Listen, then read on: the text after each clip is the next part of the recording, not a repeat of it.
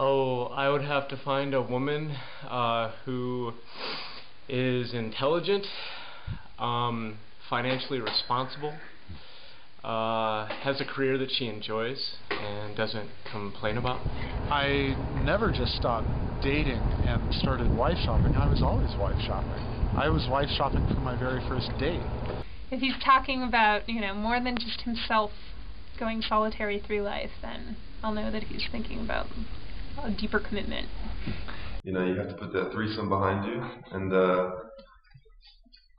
you know, put the drugs and all the, the substance abuse behind you. And, uh, then, you know, you have to know, find your niche and, uh, hopefully through that you can meet someone who understands whatever it is the hell you think you're going to do.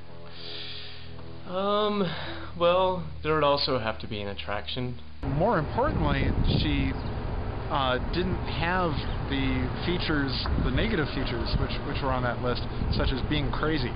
Marriage is everything is cracked up to be and better. Why?